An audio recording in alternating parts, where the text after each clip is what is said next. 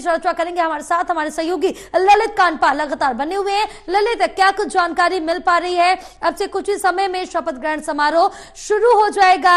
यहाँ पर मुख्यमंत्री पद की शपथ ग्रहण करेंगे नायब सैनी। उनके साथ साथ बारह विधायक भी मंत्री पद की शपथ ग्रहण करेंगे। नाम लगातार अनुमानित सामने आ रहे हैं लेकिन किसी पर अभी आधिकारिक पुष्टि नहीं हुई है। आ, बिल्कुल जय आपने सही कहा कि नायब सिंह सैनी एक बार फिर जो है मुख्यमंत्री पद की शपथ लेने जा रहे हैं। और अब आज तकरीबन एक बजे के आसपास जब प्रधानमंत्री पहुँचेंगे तो डेढ़ बजे से ये शपथ ग्रहण समारोह होने वाला है। और इस शपथ ग्रहण समारोह एक तरह से इससे अभूतपूर्व शपथ ग्रहण समारोह होने जा रहा है, क्योंकि इससे पहले कभी हरियाणा के इतिहास में इतना बड़ा शपथ ग्रहण समारोह नहीं हुआ। जब पचास हज़ार लोगों की मौजूदगी में शपथ लेने जा रहे हों कोई राज्य, कोई किसी पार्टी के सीएम तो अब आप ये समझिए कि आज जो है तकरीबन पचास हज़ार लोगों की मौजूदगी में खुद प्रधानमंत्री नरेंद्र मोदी की मौजूदगी में ये बैठ ये जो है शपथ ग्रहण समारोह होने जा रहा है। और सबकी नज़रें जो इस बात पर लगी है कि आखिर नायब सिंह सैनी कैबिनेट में किसको जगह मिलती है?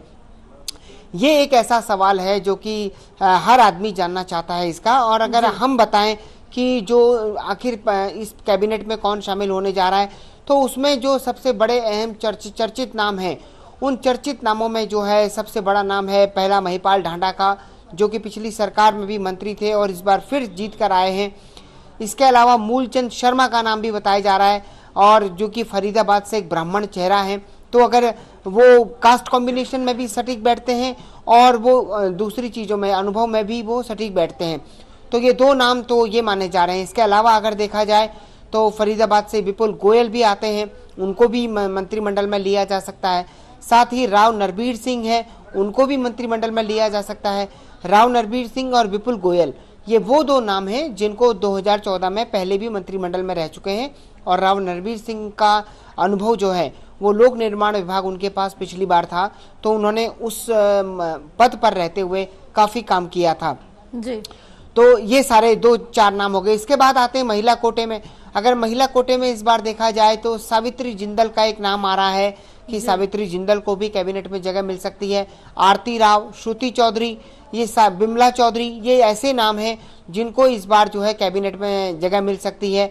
साथ ही कृष्णलाल मिड्डा उनका भी नाम है रणदीप गंगवा उनका भी नाम है। और कई सारे ऐसे लक्ष्मण यादव रेवाड़ी से विधायक हैं। उनका भी नाम चल रहा है। तो माना यह जा रहा है कि लक्ष्मण यादव को भी जो है यादव साधने के लिए अहिरवाल साधने के लिए जो है अहिरवालों की बेल्ट से तकरीबन नौ में से आठ सीटें भारतीय जनता पार्टी जीत कर आई है। तो ऐसे में उनको ज़्यादा प्रतिनिधित्व देते हुए जो है दो लोगों को वहाँ से शामिल किया जा सकता है। और आरती राव को भी शामिल किया जा सकता है जो कि राव इंद्रजीत सिंह की बेटी है। तो ऐसे में कुल मिलाकर जो है शक्ति संतुलन बनाते हुए आज भारतीय जनता पार्टी सरकार का एक बार फिर से शपथ ग्रहण समारोह होने जा रहा है और मुख्यमंत्री नायब सिंह सैनी डेढ़ बजे जो है शपथ लेंगे। जय। अब बिल्कुल, ललित, जैसे कि आपने कास्ट कॉम्बिनेशन का ज़िक्र किया तो ये भी क्या महत्वपूर्ण रहने वाला है कि जो मंत्री बनाए जा रहे हैं, बारह मंत्री, बारह विधायक रहने वाले जिनको मंत्री बनाया जाएगा यहाँ पर कैबिनेट में तो उसमें जाति कितनी मायने रखती है? क्या जाति के आधार पर ही मंत्री बनाए जा सकते हैं? देखिए वो हमेशा ही देखा जाता है जया और वो सभी सरकारों में वो चीज़ें देखी जाती हैं। हर तबके को प्रतिनिधित्व मिलता है। अन्यथा ये एक विपक्ष के पास एक मौका हो जाता है ये कहने के लिए कि उनके साथ अन्याय कर दिया इनके साथ अन्याय कर दिया। तो ऐसी चीज़ों को बचने के लिए ऐसी चीज़ों को साधने के लिए जो है इस तरह का कास्ट कॉम्बिनेशन बनाया जाता है। और कास्ट कॉम्बिनेशन को प्रतिनिधित्व देने का मतलब यह है कि वो सर्व समावेशी जो सरकार बनती है वो फिर राज्य के विकास में काम करती है और उस तरीके से जुटती है। तो ये सारी चीज़ें जो हैं, ये बेहद अहम हैं और इन अहम चीज़ों में अब देखना ये होगा कि आज नायब सिंह सैनी कैबिनेट में किसको जगह मिलती है?